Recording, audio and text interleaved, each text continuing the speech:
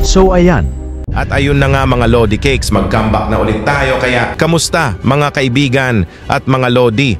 Ako'y nagbabalik sa YouTube, na-miss ko kayo. Namiss ka din po namin, boss.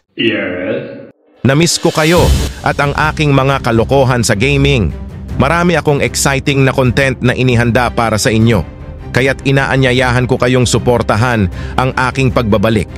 Mag-subscribe at i-click ang notification bell Wala din sana hindi mag-skip. miss ang anumang bagong upload. At tsaka nga pala, Wala po sanang mag-skip ng ano. So, ayan. And tsaka nga pala, medyo magiging brutal. Walang modo and walang kahihiyan. Walang pinag-aralan ang madalas na uri ng ating pananalita upang mapataas ang engagement nitong channel. Pero hindi naman tayo dito. Puro pagmumura na lang ang gagawin. Yung kamang mga ina ay putang ina naman cheesy. So ayun.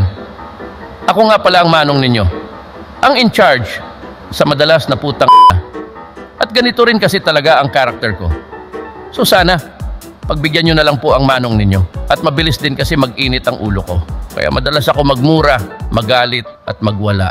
So, masanay na lang po kayo dahil madalas ang aking pagpuputang ina sa mga buwakan ng inang hayop na yan. Kagagahan ka walang hiyaan putang ina mo Putang ina talaga yan.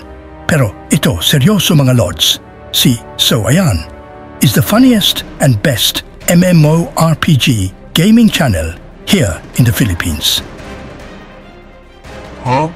Aside on wala kang matututunan sa kanya, ay puro kawalang hiyaan at puro kabalastugan ang pinaggagawa niya sa mga videos niya. Pero ganun pa man po, we are still grateful for your support here on the channel, mga Lodi Cakes. At nan, dahil sa inyong patuloy na suporta, mga Lodi, ay buhay pa din si Boss. At itong channel at ayun, so ayan.